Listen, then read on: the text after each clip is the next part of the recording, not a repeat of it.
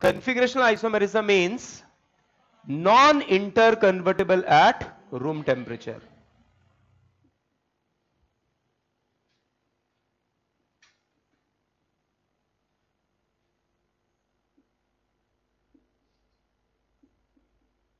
अच्छा।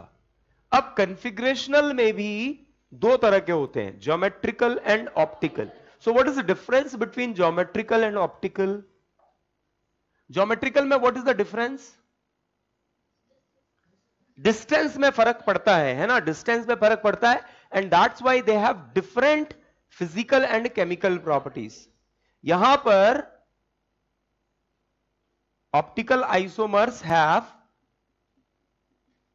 optical isomers have same physical and chemical properties have same physical and chemical properties chemical properties except that of optical behavior इनके optical behaviour में difference होता है मतलब देखो optically optical behaviour अगर chemical chemical reaction को optical behaviour अगर कुछ असर करता होगा कुछ इफ़ेक्ट होता होगा तो उसमें डिफरेंस आएगा। एंड फ़िज़िकल प्रॉपर्टीज़ में कुछ डिफरेंस नहीं होने वाला है। The only difference will be in their optical behaviour optics के साथ अगर कुछ अलग होगा तो वो करेगा। या ऐसे केमिकल बिहेवियर जो कि ऑप्टिकल बिहेवियर पे डिपेंड करते होंगे उस पर फ़र्क पड़ेगा। अदरवाइज़ कोई फ़र्क नहीं पड़ेगा। सो so, इस पे एक इंपॉर्टेंट बात यह है कि optical isomers can not be separated by fractional distillation.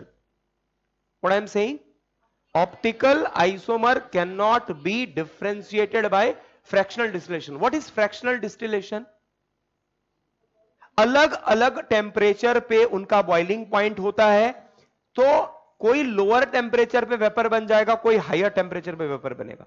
तो लोअर टेम्परेचर वाले वेपर बन के आप बाहर निकाल लेंगे। जैसे अज्यूम करो आपने ए बी सी तीन लिक्विड का मिक्सचर लिया है और ए किसी एक्स टेम्परेचर पे इवापोरेट होता है। मैंने ए बी और सी तीन का मिक्सचर लिया है। इसका बॉइलिंग पॉइंट है 100 डिग्री सेल्सियस इसका है 150 डिग्री सेल्सियस और 250 डिग्री सेल्सियस ऐसा है। और मैंने एक चैम्बर लिया है जिसपे अलग अलग जगह पे अलग अलग टेम्परेचर मेंटेन किया है। ये 100 डिग्री है, ये 150 है और ये 250 डिग्री सेल्सियस जब मैं यहाँ से लिक्विड को पास करूँगा A plus B plus C तो ए जो होगा, वो वेपर बन के निकलना स्टार्ट होगा। तो ए मेरा यहाँ अलग से कलेक्ट हो जाएगा। अब ये बी और सी का मिक्सचर जब यहाँ जाएगा तो वी वेपर बन के निकल जाएगा और सी मेरा अलग से कलेक्ट हो जाएगा। तो you can separate them out basically ऐसा नहीं होता है कि ए बी सी को मिक्सचर किया। मिक्सचर होने के बाद ए का जो जो बॉइलिंग पॉइंट है वो उतना ही रहेगा जितना है। थोड़ा डिफरेंस आता है। आप ये सोल्यूशन एंड क्वालिकेटिव प्रॉपर्टीज़ करके पढ़ेंगे कि मिक्सचर होने के कारण उनके थोड़े बॉइलिंग पॉइंट में डिफरेंस आ सकता है। बट उसको हमने कंसिडर किया है कि ऑलमोस्ट एक रेंज रखेंगे। वन टू वन ट्वेंटी तो उस रेंज के बाहर नहीं जाएगा। तो A will be separated out B will be separated out C will be separated out why they will be separated out because they have different physical property they have different boiling point है ना? तो basically geometrical isomers can be separated out because they have different boiling point है ना? Physical properties अलग अलग physical properties होते हैं। But optical isomers पे फ़िज़िकल प्रॉपर्टीज़ और केमिकल प्रॉपर्टीज़ सेम होते हैं except that of optical behaviour so optical isomers can not be isomers can not be separated by fractional distillation. तो ये ना डायरेक्टली क्वेश्चंस आते हैं फ्रैक्शनल डिस्टिलेशन पे। आपको क्या दिया रहेगा? कुछ एक तो रिएक्शन किया हुआ है, उससे कुछ प्रोडक्ट मिलेंगे और बाद में फ्रैक्शनल डिस्टिलेशन किया है और वाई बोलेंगे। और बोलेंगे बताओ वाई कितने निकलेंगे? तो उस टाइम पे इनेंशोमर्स अलग अलग नहीं होंगे।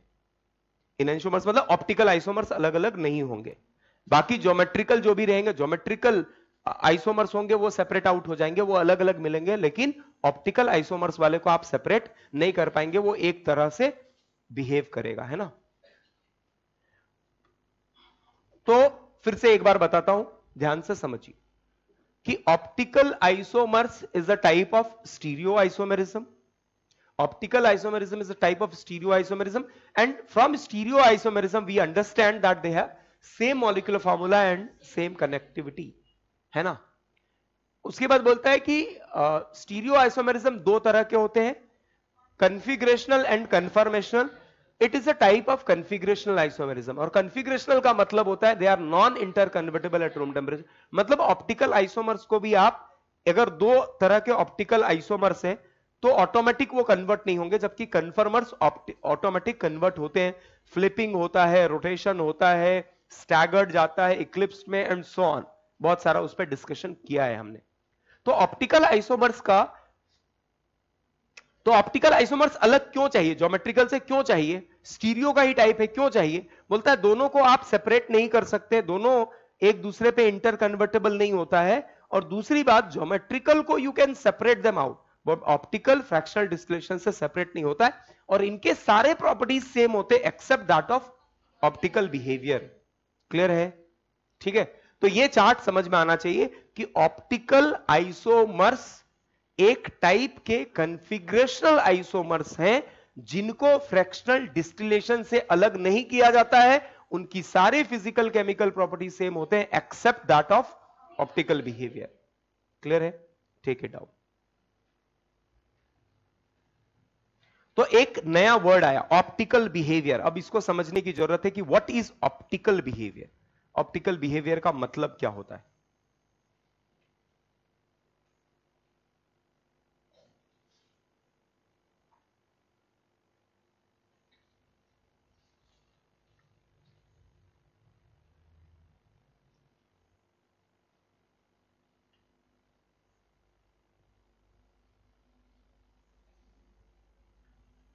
तो हम लोग बात कर रहे हैं अभी किस पे? ऑप्टिकल बिहेवियर पे।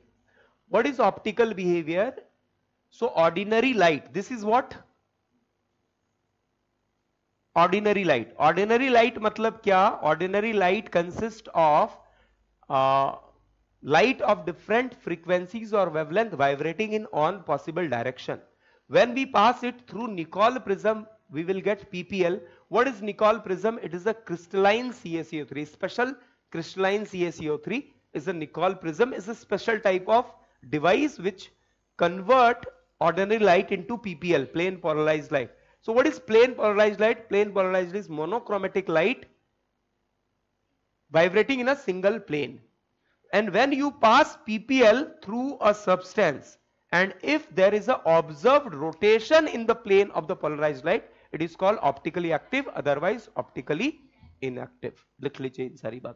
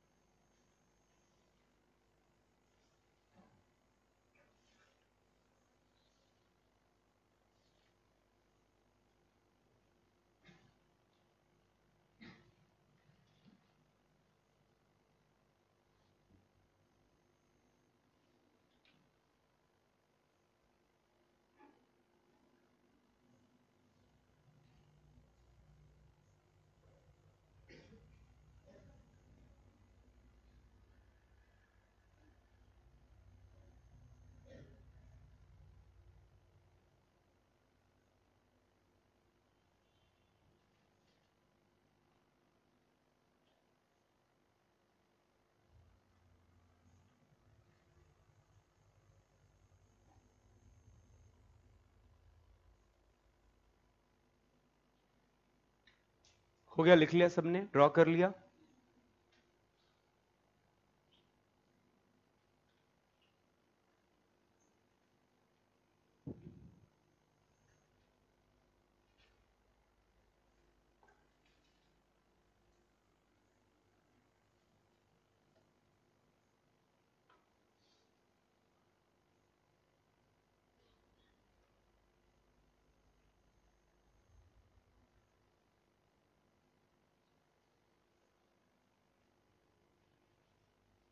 डन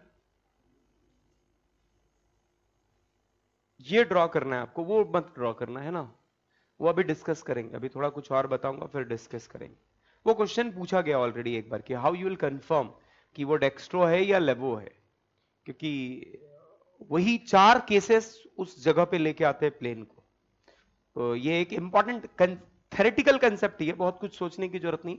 थोड़ा चीज़ समझोगे तो समझ में आ जाएगा कि वो डेक्स्ट्रो या लेवो है, आप बता सकोगे एग्जैक्टली exactly बता पाओगे हो गया क्या सबका ड्रॉ करके? हो गया एवरीवन कोई है ऐसा जिसका बचा हुआ है? रेज योर हैंड लिख रहा है अभी भी। नहीं तो चलिए डिक्टेट करता हूँ मैं, लिखिए अभी सबसे पहले। Optical activity optical activity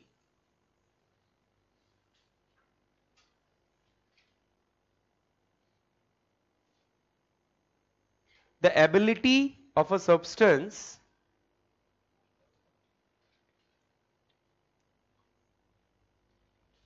the ability of a substance the ability of a substance to rotate the ability of a substance to rot rotate the plane of oscillation the plane of oscillation of polarized light. The ability of a substance to rotate the plane of oscillation. एक plane में oscillate करता है wave है ना? एक plane में oscillate कर रहा है। So ability of a substance to rotate plane of oscillate oscillation of a polarised light is called optical activity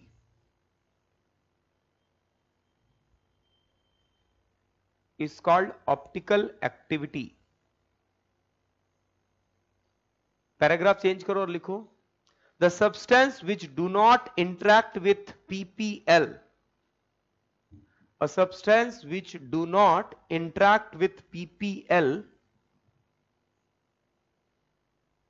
PPL मतलब plane polarized light is called optically inactive है ना जो प्लेन पोलराइज के साथ इंटरेक्ट करे मतलब उस पर कुछ चेंज लेके आए तो वो ऑप्टिकली एक्टिव है, और जो नहीं लेके आए, वो ऑप्टिकली इनएक्टिव है।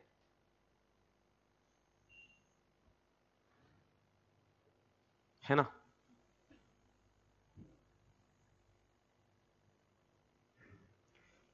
कुछ पॉइंट्स लिखिए, ये जो है ना, ये जो लिखा है, उस पर कुछ पॉइंट्स लिखिए। Points points to be noted करके लिखो। पॉइंट टू बी नोटेड नहीं, केवल point point to be noted मतलब आपको ध्यान में रखना ये केवल पॉइंट है जो बेसिक बातें कर रहे हैं उस पर सबसे पहला ordinary ordinary light ordinary light oscillates in infinite number of plane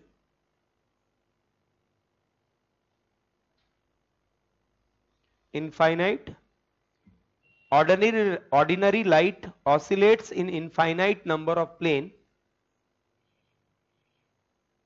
infinite number of plane having different wavelength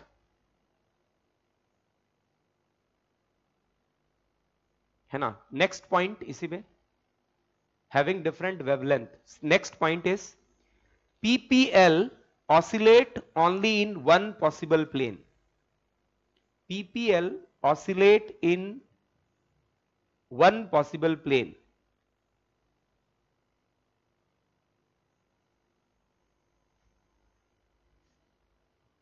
ordinary light changed into ppl through nicol prism ordinary light change into ppl when passed through nicol prism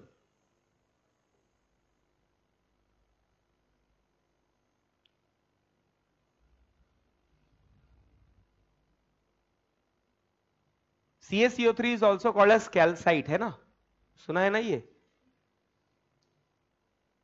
ore of calcium में सुना होगा tenth में नहीं सुना है। Ores पे था तो वहाँ पर कैल्साइट करके।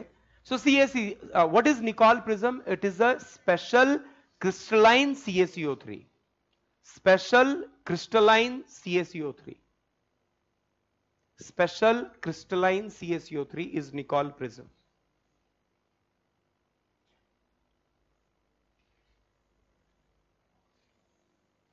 Substance जहाँ पर रखा जाता है ऑप्टिकल एक्टिविटी जिसका चेक करना है, जिस ट्यूब में रखा जाता है that is called as polarimeter है ना? पॉलरीमीटर के बारे में लिखो। Polarimeter is a tube containing substance Polarimeter is a tube containing substance for which we want to check optical activity. Polarimeter is a tube in which we keep the substance for which we want to check optical activity. अब मैंने दो बार दो तीन बार अलग अलग statement बोल दिए आप लिख लो Polarimeter is the tube in which the substance is kept for which we want to check optical activity. वो ऐसा ट्यूब है जिस पे हम लोग सब्सटेंस रख देते हैं और जिसका ऑप्टिकल बिहेवियर चेक करना है। पॉलरीमीटर है ना? क्लियर है? अब dextro and laevo you know next लिख लीजिए। When PPL is rotated toward right it is called dextro और प्लस फॉर्म है ना? और D form plus form D form और डेक्स्ट्रो फॉर्म मतलब when PPL is rotated toward right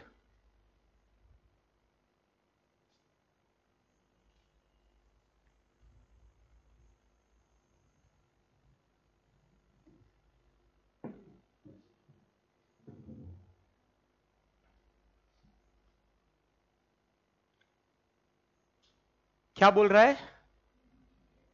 PPL when PPL rotated toward right it is called which which one is called the compound जो कि rotate कर रहा है that is called dextro rotatory plus और D form when the PPL is rotated toward left the substance is called L minus और लिवो form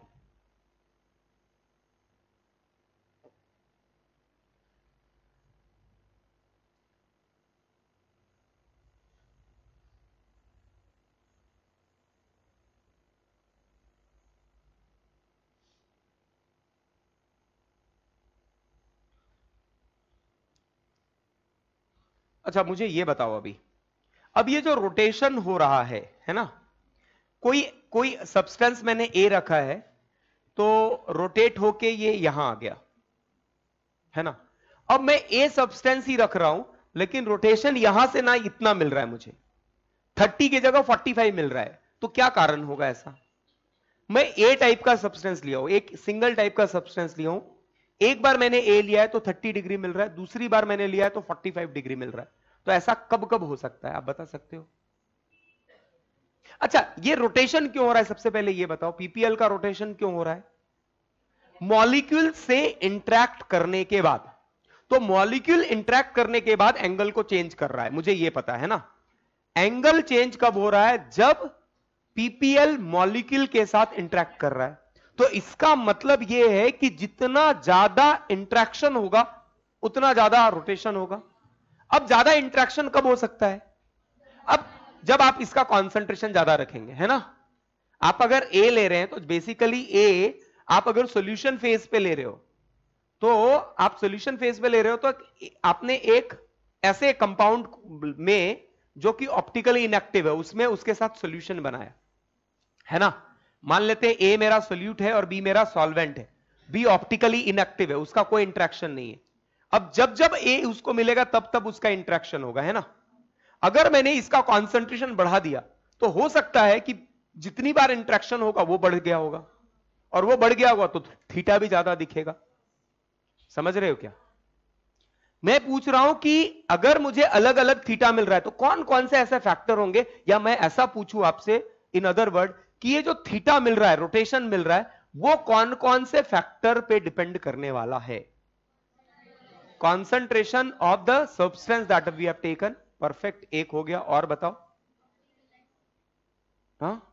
optical activity अगर theta है तो ऑप्टिकल एक्टिव है तो थीटा है, नहीं तो ऑप्टिकल इनएक्टिव हाँ। Definitely depends on the compound the compound you have taken molecule कैसे? हो सकता है कि एक मॉलिक्यूल एक बार इंट्रैक्शन में वन डिग्री कर रहा हो, कोई एक बार 1.5 डिग्री कर रहा हो, कोई थ्री डिग्री कर रहा हो। तो वो मॉलिक्यूल पे भी डिपेंड करेगा है ना?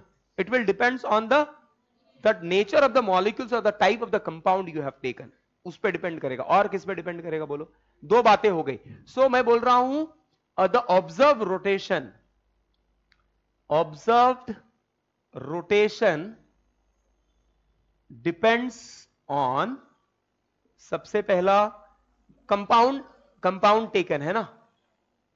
कंपाउंड टेकन और किस पे डिपेंड करेगा? Concentration of the substance concentration of substance और बताओ थोड़ा। एक तो डिपेंड करेगा कि भाई कंपाउंड क्या लिया है, उस पर डिपेंड करेगा। दूसरा डिपेंड करेगा कॉन्सेंट्रेशन पे। हाँ और कुछ आवाज़ आई मुझे। टेम्परेचर पे यस टेम्परेचर किसी ने बोला? टेम्परेचर पे वाइब्रेशन ज़्यादा होता है। जितना ज़्यादा वाइब्रेशन होगा, हो सकता है इंट्रैक्शन बदल जाए। है ना? चलिए, एक तो आ गया टेम्परेचर यस और बताओ। प्रेशर हट प्रेशर कुछ भी। प्रेशर से कैसे करेगा? कौन सा? ये पीपीएल यस पीपीएल पे भी डिपेंड करेगा कि किस तरह का आपने लाइट यूज़ किया है। अलग अलग लाइट का अलग अलग बिहेवियर मॉलिक्यूल के साथ हो सकता है। So it depends on temperature pressure पे डिपेंड नहीं करता, है ना? It depends on lambda of monochromatic light use वो लाइट पे भी डिपेंड करेगा। मोनोक्रोमेटिक लाइट और किस पे डिपेंड करेगा? बोलो, एक और फैक्टर बता दो। बहुत बड़ा फैक्टर है। लेंथ ऑफ़ द पॉलरीमीटर जितना बड़ा रखोगे, उतना ज़्यादा इंट्रैक्शन होगा। जितना छोटा रखोगे, उतना कम होगा।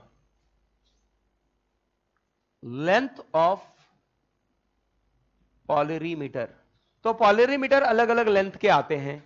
तो ये पाँच फैक्टर्स है जिसपे ऑब्ज़र्व रोटेशन थीटा डिपेंड करेगा। अब सवाल ये था कि वो थीटा ही है 180 प्लस थीटा नहीं है 180 माइनस थीटा नहीं है 360 माइनस थीटा नहीं है। ये कैसे चेक करोगे? वो थीटा ही है, बाकी कोई नहीं है, ये कैसे चेक करोगे? इसका भी जवाब यहाँ से मिल जाएगा। पहले ये लिखिए। The observe rotation of PPL depends on following factors the observe rotation of PPL depends on following factors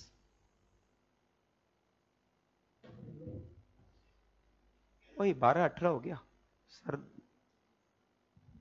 ठीक है विल स्टॉप ओवर हियर ये लिख लीजिए। नेक्स्ट क्लास में पढ़ेंगे।